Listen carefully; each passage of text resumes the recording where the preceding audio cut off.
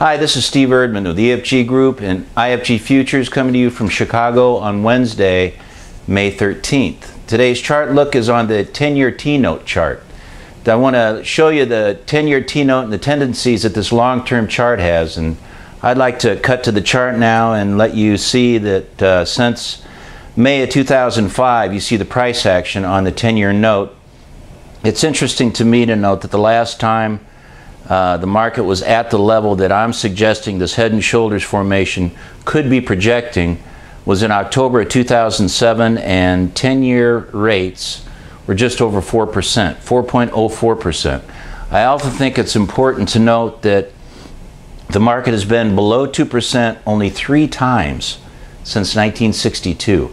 So I think we're all getting a little bit too comfortable seeing rates uh, short-term rates at zero and 10-year rates that are less than 2%. But I want to reemphasize, it's been a while since we've been this low with longer-term rates.